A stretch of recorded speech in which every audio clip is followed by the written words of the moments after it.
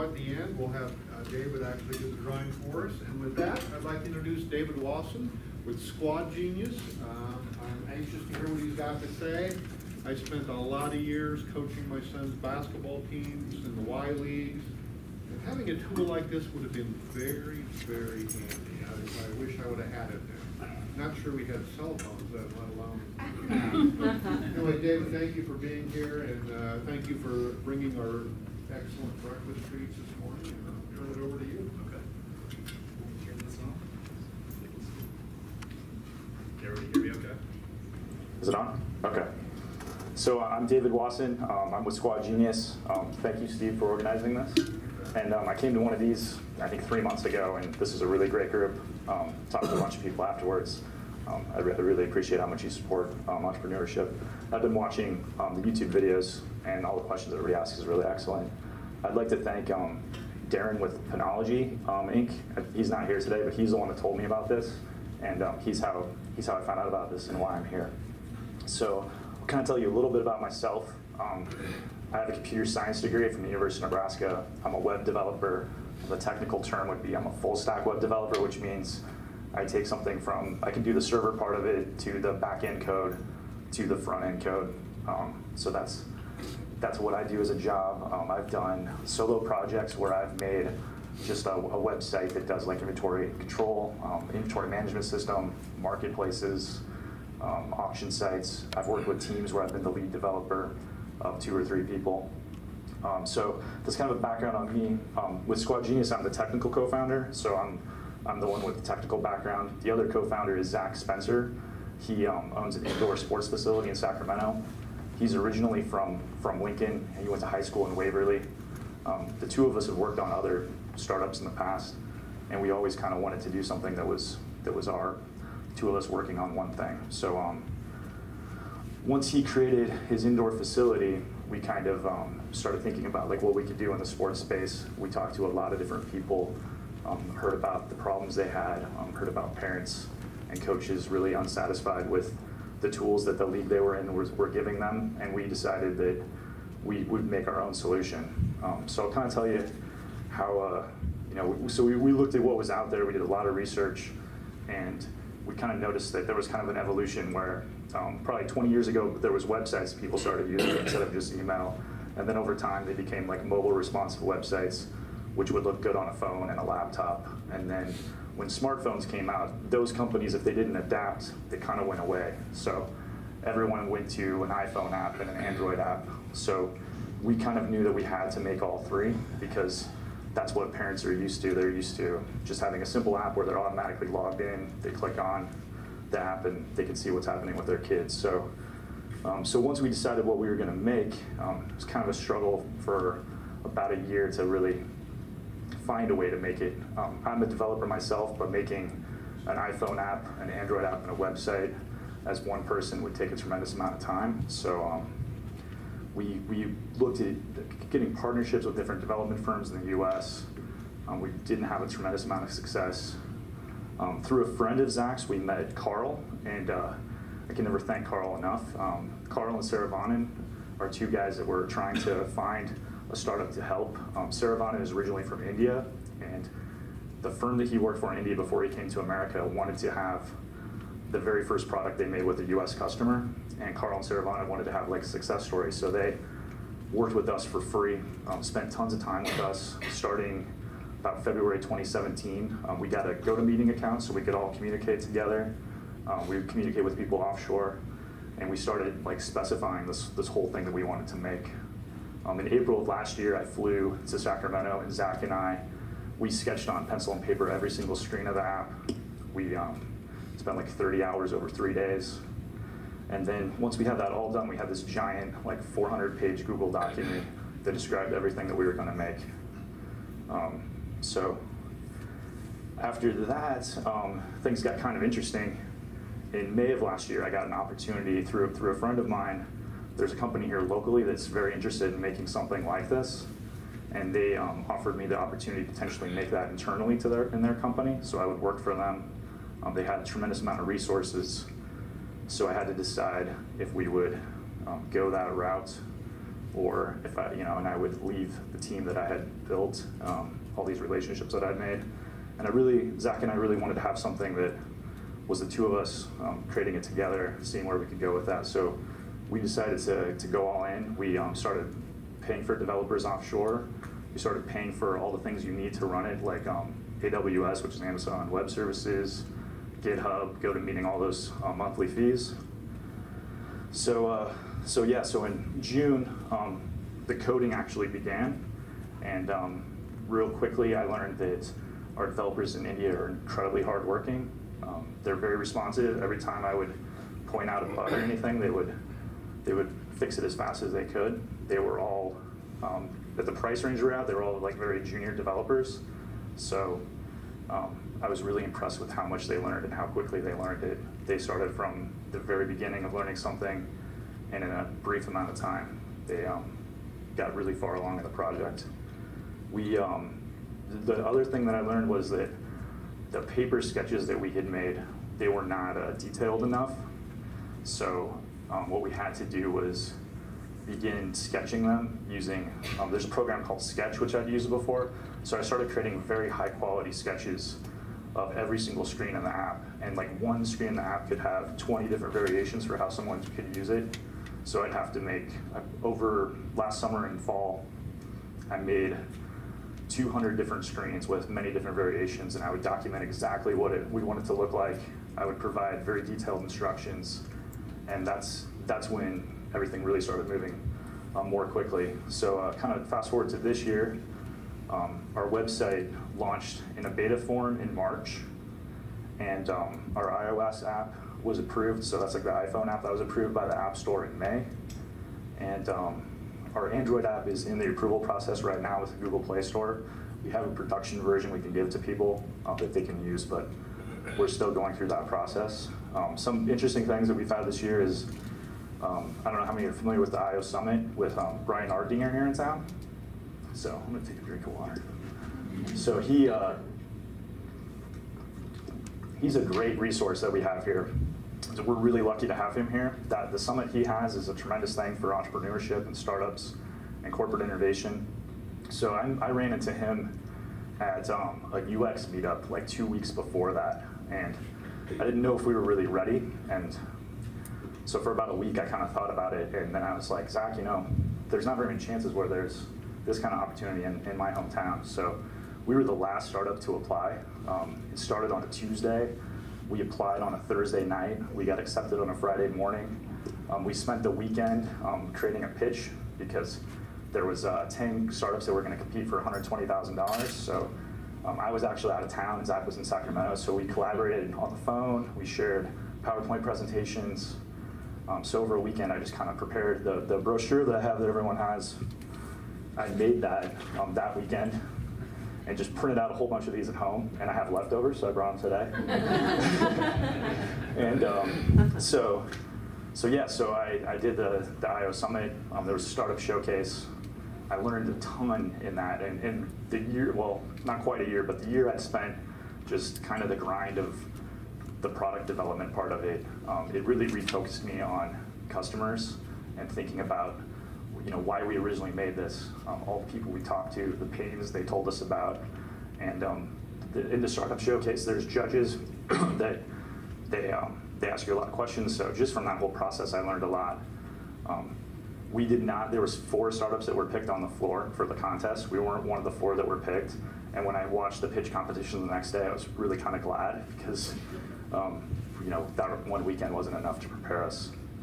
Um, the other interesting thing since then, um, we got accepted by the NMotion Startup Academy here in town. I don't know how many are familiar with NMotion, but it's it's a really great organization. Um, Carlos Estrada is a new executive director, if, if, I'm right on his title, and I've talked to him a few times. Every time I've talked to him, he's given me really great advice. Um, really focus on um, customers, what they tell you.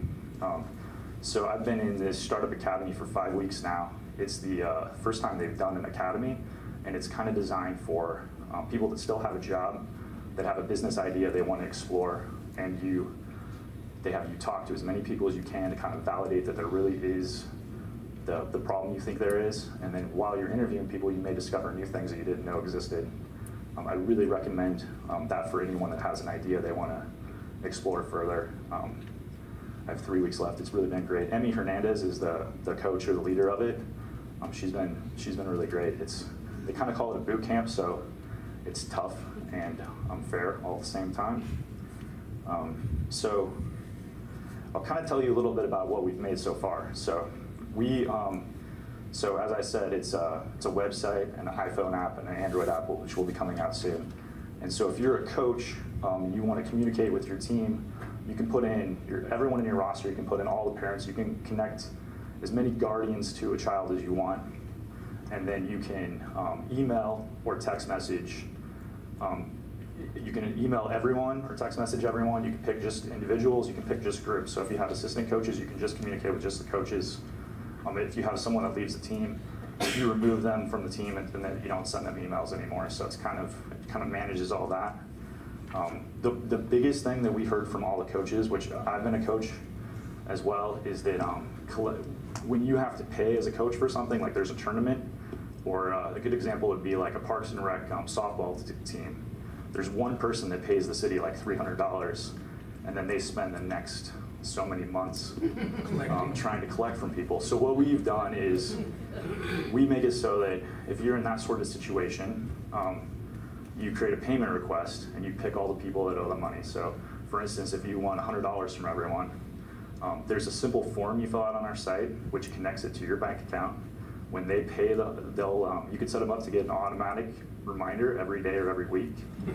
So they'll just get an email, and right now it's it's 3:15 every day is when my phone blows up for all the test ones I've created, where I get all the reminders, and it's um they start to learn like you kind of feel as a coach you just kind of feel like you're bugging people, and this kind of takes the personality out of it. It's just an automatic email every week or every day at the same time. Pretty soon they figure out that it's not you personally hounding them. Um, and if they, if they just click on the link on the email and they want the convenience of that, then it goes right to a screen where they can pay with card. If they pay with a card, that's how Squad Genius makes money. Our app is free. Um, we take a small fee of that. So for instance, if it's $100 you're asking for, um, $100 will get per, put in that person's account or that nonprofit's account, and um, about $5 in service charges that person will have to pay on top of that. And we get like 2% of that. So um, that's that's another um, part of that's the big pain point we're solving. Um, the other thing that we you can do with our app is you can track attendance. So if you have a game coming up, you can see um, everyone can mark their availability, so they can tell you like yes, no, maybe if they're able to come. Um, we also have some, some fun things. There's every event has a photo album. So everyone from the team, it's a private photo, photo album. They can all upload pictures they can tag people. Um, there's no, we give them trophies instead of likes, but there's no, there's no downvote. It's just all positive. You can also, as a coach, you can give virtual awards to, to anyone on the team. So you can give one to a parent for just helping out. Um, it's just like a little icon. It'll show up on their profile. Um, if you have challenges for a team, like for instance, say soccer, you have a challenge where you want, you know, if they can do 50, if they can juggle the ball 50 times without hitting the ground, you could make up an award for that. That would show up on the kid's profile. Um, yeah, so that's um, that's the main thing. The other real big thing that we noticed is there's a lot of apps where you have multiple kids in sports. You have to go to like each and every team to see what's happening. We combine that all into one feed, kind of like a Facebook feed. So when you first open up like the home feed of our app, it'll show you all the events. If you scroll up, you'll see things in the future. If you scroll down, you'll see things in the past. The schedule screen combines everything all into one place. Um, the big difference with ours is it's it's also free. Um, some of the apps charge you charge parents two dollars a month to combine everything into one. Um, so that's that's what we've made so far. Um, our next steps are to uh, you know get everything out. Um, what my ask from anyone here would be is if you know anyone that's connected to uh, a sports organization that would willing be willing to do an interview with me. I'm really kind of exploring the idea of making a solution for for um, any kind of sports league or sports club or facility, um, finding out what their needs are, what their problems are. Um, competitive coaches are always great to talk to too, or any kind of coach. Um, that's that's where we're at now. And you can turn over to questions. I've got a couple. Yeah. Can you, on the payments, when they owe you money, can you threaten playing time? The coach can always do that, but Yeah. especially if it's an adult team. And i- is there a uh, way to track, I mean, that was one of my biggest headaches as a coach. I went out of my way to make sure every kid got to play the same amount of time, they got to start the same number of times. Yes. Is there a way to keep track So of that? that's, that's a really great thing you brought up. That is actually the next feature we're coming out with. We're making um, a game management tool that tracks playing time. So the way it'll work is you have, you basically drag and drop people on the field. So if it's soccer, for instance, um, there'll be a running clock for every single person. And when someone's on the bench, it'll sort the bench by who's played the least amount of time. So you'll always see who, who should be up next. Um, if you click on someone, you can store their stats. So like you can click on um, Marla, I coach her team. I can click on Marla, put that she scored a goal. There'll be a log that said at 14 minutes into the game, Marla scored a goal. Um, click on her, her teammate that helped her with the assist, they'll store that. So we, um, that should be part of our website in the next couple weeks. See, And that then- would be awesome, because then when I get the parent complain about playing. Yes. you have to say, "No, Yes. right. But if you don't play, if, but the the other side is, if you have this thing and you actually don't play it them the same, the parents are gonna see it. So who entered all that data during the game time? So it could be uh, like an assistant coach. Um, the way the app will work is it, it'll be one person that, that that time will be running, and then everyone that looks at the app will see like kind of an event log. So they'll see the stats as they go in, like minute by minute. But there'll be one person that'll have. It'll just be, um, you know, you got the players on the field, the players on the bench, and they can kind of like drag and drop them. And then when they click like make substitutions, it swaps everything, and then it swaps the time. So it stops the times for people that come off, starts the time for people that go on. And then there's something that says if they scored a goal or did an assist? Yeah, if you click on them in, a, in um, it depends on the application, but some of them, like you click on them, you have two choices. You can either sub or you can do a stat. So you, then a stat window comes up and you can put goal, assist, whatever. Yeah. Mike? So just to be clear, it's not only for soccer, correct? It could be for any sport. Um, I'm actually, um, if anyone knows anyone from um, like a dance studio or something, like the reason we called it Squad Genius is that we didn't want to be just team only oriented. So our, our like our motto is uh, manage any team, group, or squad. So it could be anything that needs organization, where you have more than two people. Um, you communicate. Um, if you collect payments, that's good for us because that's the way we make money. Um, yeah. Yeah. Have you talked to or conversated with or anything with Hudl? Not yet. Um, I kind of feel like Hudl eventually will make something like this. Yeah, I mean, they, they have an offering for, as you know, for youth sports, club sports versus college and, and Yeah. high school, but Yeah. sounds like some kind of Yeah. natural. I, I hope we get some traction before um, this gets too the Hudl gets too far along in that. in the back. So how many different sports or groups do you have in your system? So right now, the when you pick the sport, when you create a team, I uh, I made the list based on I just looked for every um, every sport that had an organization behind it. So there's all kind of like there's even Quidditch because there's an actual like national Quidditch league. So that's how I made the first list. But I'm always open. Like if I'm missing something, we can easily add it in. So like if you have a, say, a midget football team, Yeah. and you would be able to, is it already programmed in there that you can put, that they had a tackle or an assist or an interception? So- Those things in there already? Does your customer have to go in and customize what they want it to do? So, so this will be our first version. So we're, we're going to look for a lot of feedback from people. But what we've done is um, we have probably 10 sports where we picked very specific stats, and football is one of them. And then we have kind of a general that just covers the ones that we don't know well enough. So the general one would just be like points, um, defense, like whatever you want to consider it. I think as we get feedback from from users, we'll um, you know refine it from there. Uh, over time, we'll probably need to make a more baseball, softball centric one because those sport, you know, sports where there's not a constant flow are very different than- sports where there's a constant flow. So over time, we'll have to make um, different ones. Our, our team of developers in India, they know cricket real well, and that's a huge sport. Um, so they're going to help us with that part, with the stats on that. So, um, Have you approached the cheerleading I That's- think that's huge. Yeah, that's another one where I've been talking to parents, and that's something that's been brought up to me. So along with dance studios, I'd really like to start talking to um, cheerleading squads. Tons of communication. Um, especially those kind of dance and cheer, there's like all these extra expenses. So anytime there's one person that has to pay the whole bill for something and they're trying to collect from people, that's a, really good group to talk to. Um, right? It sounds like you talked to a lot of people. Did you have a marketing research plan or some sort of marketing research angle that you were, how did you connect with Um, So? I, uh, I just kind of researched. So I started re- recently. I started with baseball and softball because I know that their season just kind of ended, and um, I researched every single organization in the Lincoln area, and I emailed and cold called every single one of them, and um, I've gotten interviews with um, people fairly high up from I think six or seven organizations so far, and then I've talked to lots of coaches, and now I'm getting to a point where I'm getting so many people referring me so many names. It's just keeping up with all that. I'm actually thinking about using Salesforce just to track all, all the contacts I have. So, yeah, so it's a good problem to have. Mike?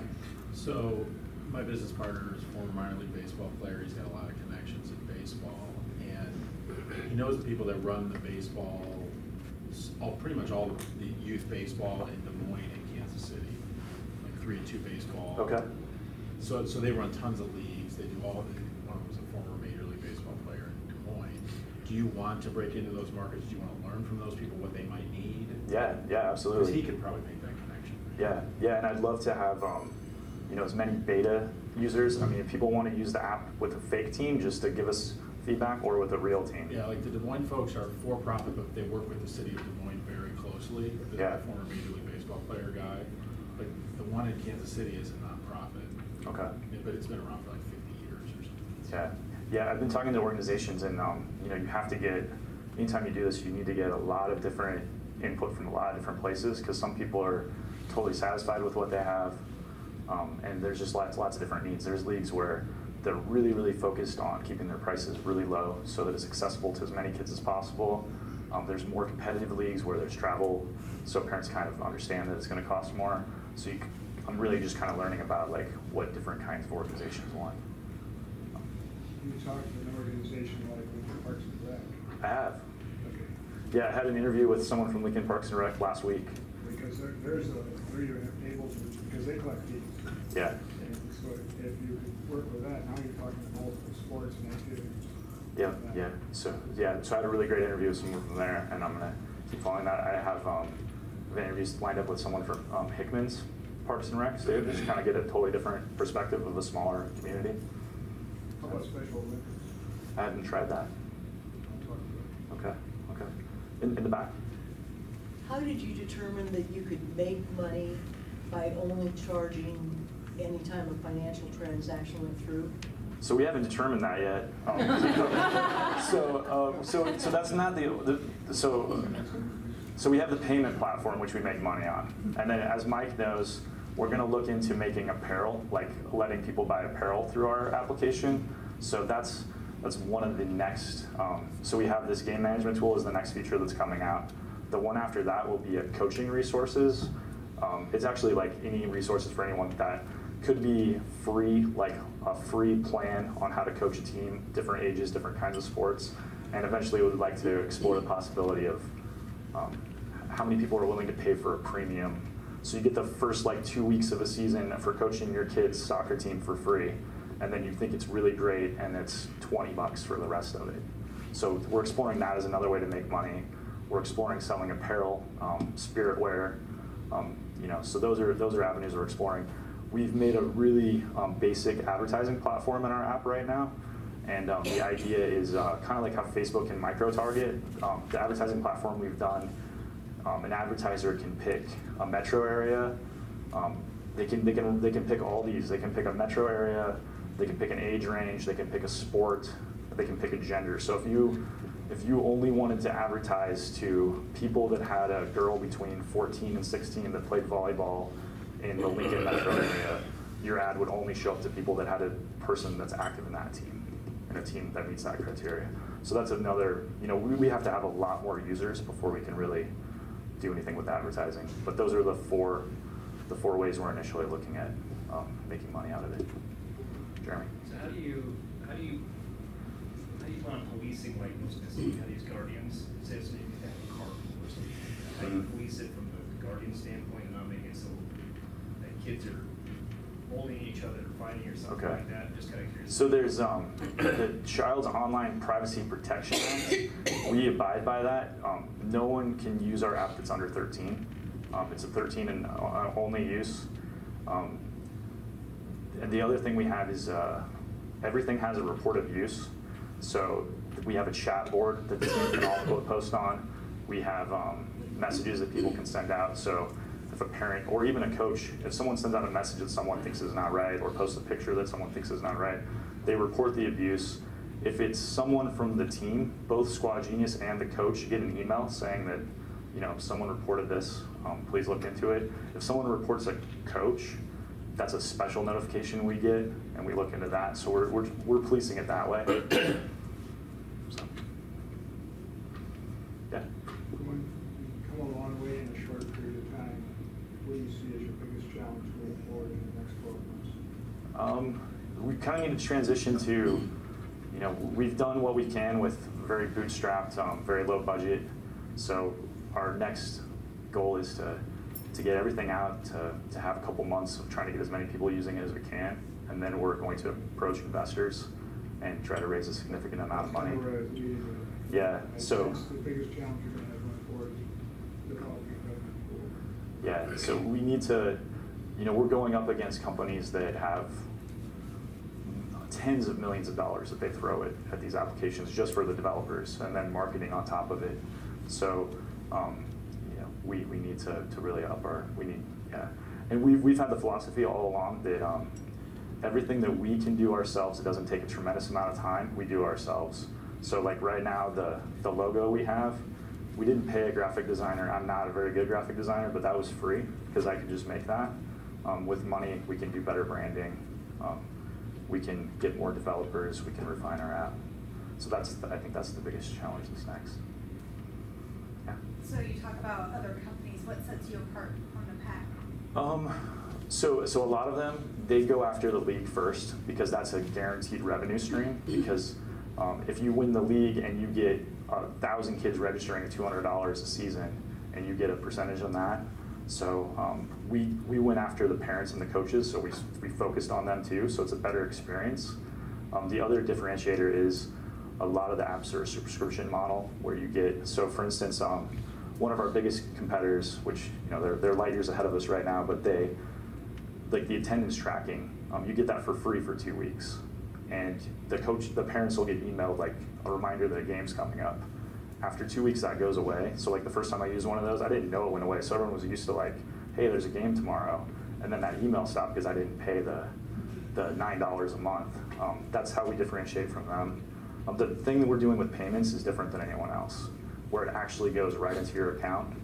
Um, you don't have to have a merchant account with fees. Like there's no fee at all on the person that has the, the bank account that is going into. It's just they request the money it gets put right in their account i've talked to other payment providers because we've been trying to lower the percentage of fees we pay and um, there's very few that can do. We picked one solution and it was pretty complex to get set up so i guess that's one big advantage we have. Not to say that the $100 million companies couldn't just do that but you know we're, we're ahead of for now on that. Any more questions? Yeah all the way back You talked about the uh, uh, people in India that you worked with. Yeah. And how good a job they did for you. Could you talk about what it is about the Indian experience or expertise as compared to the American that makes them attractive? Uh, for us, it's it's cost. Um, we, we we could never afford you know two guys just funding it ourselves. We could have never afford developers here. Um, I think using offshore developers, the, the, the group we have, they work really hard. Um, it's a great way to prototype something and make the beginning version of something. Over time, I'd like to continue prototyping things offshore and then having U.S. developers um, that really refined. Um, after after we got feedback from customers, we use our own team of developers here in the states to to really improve and refine. But but offshore, you know, when you're trying to just find out if something makes sense, if it works, and customers react to it, you want to spend the least amount you can, and that I think that's Cost. yeah, you know, the cost. So that's why we chose to go that route. And really, it was the only way forward for us. Um, you know, I had those two choices. One would have been you know, they would use a bunch of US developers, it would be really great. Um, So, so we, yeah, I wanted to see where this went, and it's been fun. I've learned a ton. Thank you. Yeah. Well, David, thank you so much. That was great. Thank you for speaking. We'd like to present you with a Focus Suite mug. Thank you. And now, we'd like to have you pick the winner of our free service here. Ingrid Trist, or Kirst, did I say that right? Wow. Kirst. Very good. Thank you very much.